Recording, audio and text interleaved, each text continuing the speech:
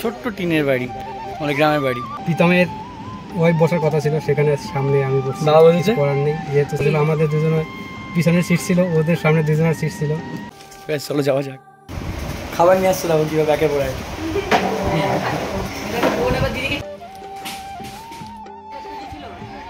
তিনজনের ফ্যামিলির লোক তিনজনেই চেপে পড়েছে? ফ্যামিলিতে তিনজন না ফ্যামিলিতে আরও দুজন আছে। দাদু আমার গাড়ির ভিতরটা দেখছে এখন।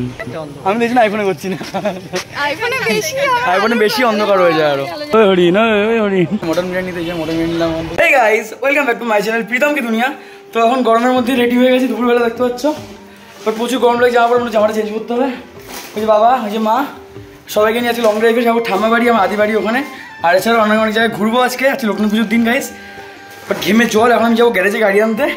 তখন মারা মন্ডল সামনে দাঁড়াবে আমি নিয়ে আসি তারপর তোমার দেখাচ্ছি পাখিটা গাইস চলো প্রচুর গরম তো গাইস আমি গ্যারেজে গাড়ি আনতে গেছিলাম ওদিকে চেঞ্জ করে নিয়েছি কারণ প্রচুর পরিমাণে গরম। ওই গরমের মধ্যে আমি শার্ট পরে একদম পুরো অস্থির হয়ে জলে ভিজে গেছিলাম। দিয়ে চেঞ্জ করে এটা পরে গাড়ি আনতে গেছিলাম এই যে এসছে এতক্ষণ পরে মন্ডল সামনে দাঁড়িয়েছিলাম। এতক্ষণ পর এসছে মানে আমরা তো এদেরকে নিয়ে সবাইকে নিয়ে মা বাবাকে নিয়ে যাব নবদ্বীপে গেছি চলো। বাবা মা তিন মানে তিনজনে চেপে পড়েছে গাড়িতে তিনজনের ফ্যামিলির লোক তিনজনেই চেপে পড়েছে। ফ্যামিলিতে তিনজন না ফ্যামিলিতে আরও দুজন আছে। আটজন আছে দেখো। তারা সবসময় থাকে। এই গাড়ি তো ওরা মালিক গাড়ি। গোপালের লোকজন বসে আছে।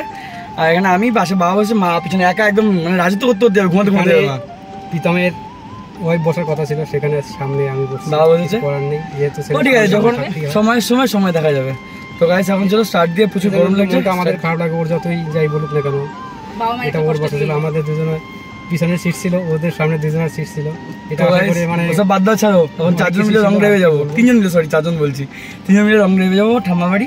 তো চলো যাওয়া যাক। তারপর আমাদের লোকনাথ গোপাল আর ওখানে আমাদের কটা ফ্রেন্ড ওয়েট করছে বাবা দেখা করার জন্য ফোন করছিল এক্ষুনিও ওখানেই দেখা করব guys, চলো দেখতে এখন নবদ্বীপ হেমাদপুর মোড়ে এসে মিষ্টি নিলাম। আমি বাবা ওখানে মিষ্টি নেওয়া হয়ে গেছে তখন মিষ্টি।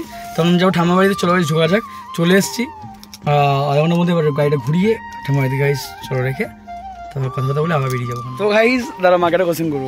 তুমি শ্বশুর বাড়ি যাচ্ছ তোমার কেমন লাগছে? আমার খুব ভালো লাগছে। এটা হচ্ছে নিজের আদি বাড়ি। আদি বাড়ি। ঠাম্মা দাদুকে বারবার করে বলি আমাদের ওখানে থাকতে? এত গরু ছাগলের জন্য এখন থাকতে পারবে না। যে গ্রামের বাড়িটা আমাদের। এই দেখো। চলে এসছি গাইস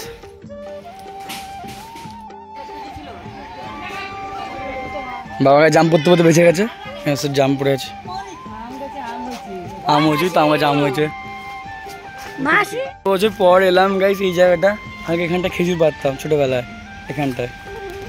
আগে তো খুব ডেলি আসা হতো, এবার বোধহয় আমি অনেক বছর পরই এলাম আমার বাড়িতে। তিন বছর তো বেশি ছাড়া কম না ওরকমই সামথিং দু তিন, দু বছর মতো হয়ে গেছে। এই যে আমাদের বাড়ি, ছোট্ট টিনের বাড়ি মানে গ্রামের বাড়ি। এই বাড়িটাতে ঠাম্মাদের মানে ফেলে বিক্রি করে দিয়ে আমাদের বাড়িতে আসার জন্য পাগলের মতো করেছি। ঠাম্মারা এই যে বাড়িতে যে পশু পাখি আছে, তাদের জন্য যেতে পারবে না। আর আমাদের কাজে সূত্রে থাকতে হয় কালনাতে। কালনা দিয়ে বাবার কাজের জন্য। মা দেখো।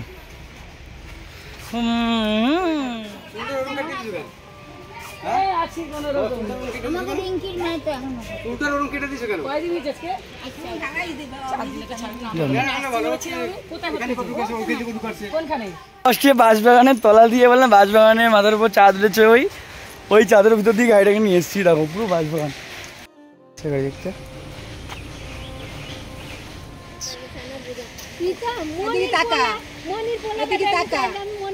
সবাই গাড়ি দেখতে এসেছে ঠাম্মা দাদু যে পাড়ার সব মামিরা। কতদিন পর সবাইকে দেখলাম। আমি সবাইকে ভুলে গেছি সবাই চিনতে পারছি আমি একদম কারও মনে নেই। সবাইকে আমি ভুলে গেছি। দেখো বাচ্চা কাচ্চাগুলো দেখতে এসেছিলাম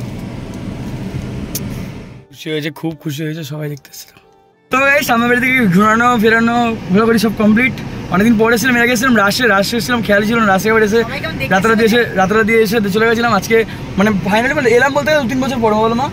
তুই এসেছিস আমরা তো আসি মারা বাবা আসছে অনেকবার আমি আমি আসি দু তিন আমি এলাম দু তিন বছর মা বাবা অনেকবার এসে হয়ে গেছে। আসা মা বাবা করে আমার আসা যাওয়া একদম হয় না আর নদী এলেও আমার খুব একটা আসা হয় না বন্ধু বন্ধু বাড়িতে ঘুরতে চলে যাওয়া একদমই আসা হয় না। আর সবাই চলে এসছে বলতে পারলে মা বাবা আসে সবসময়।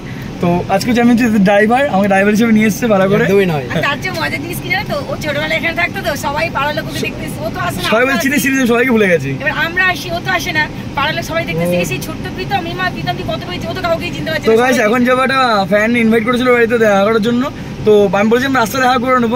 ও বলছে না বাড়িতে আসো দাদা বাড়িতে আসো করে বলেছে ভালো করে। তো এর জন্য এখন বাড়িতে যাচ্ছি। আর মা বাবা গেলাম তোমরা বসো আমি যাই। মা বলছে কে বাড়িতে? যাও আমি যাব দেওয়া ওরা বলছে হ্যাঁ মা বাবাকে নিয়ে আসো। দিয়ে বললাম থাকতে মা বলছে না মন্দির ফন্দির ঘুরবো। দিয়ে এখন চলো ওদিকে ওর বাড়িতে যাই তারপর মন্দির ফন্দির ঘুরতে যাব পুরোটা দেখতে পাবে গাইস চলো তো গাইস চলে এসেছি মিষ্টি দোকানে গেছিলাম দিয়ে মিষ্টি দোকানে থেকে আমি এসেছি সিঙ্গাড়া ফিঙ্গাড়া নিলাম। তো এখন ও ফোন করছে ও দাঁড়িয়ে রয়েছে বাড়ির সামনে।